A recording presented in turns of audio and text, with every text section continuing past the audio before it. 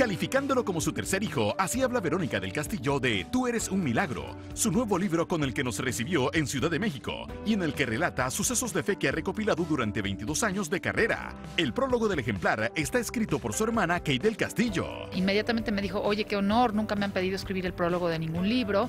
Este, y le dije, sabes que quiero que lo escribas, pero desde tu parte cero espiritual, desde tu parte muy escéptica.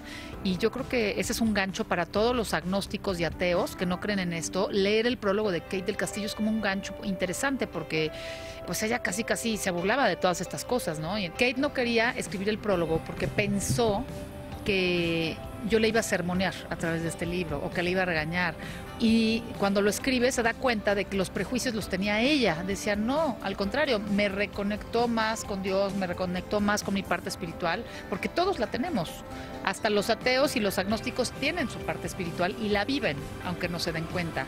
Entonces, eh, ella al final del día, después de leer eh, el libro, dice, yo me siento más cerca de Dios. Y yo veo a Dios cuando me veo en el espejo, ¿no? Mientras a su hermana Kate el libro le devolvió la fe, a Verónica se la fortaleció y le hace ver la vida de otra manera.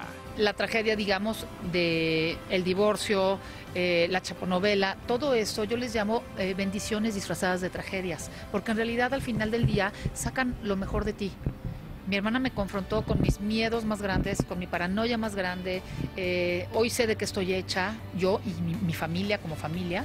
y la verdad es que uno no tiene de dos sopas más que ser víctima o ser protagonista.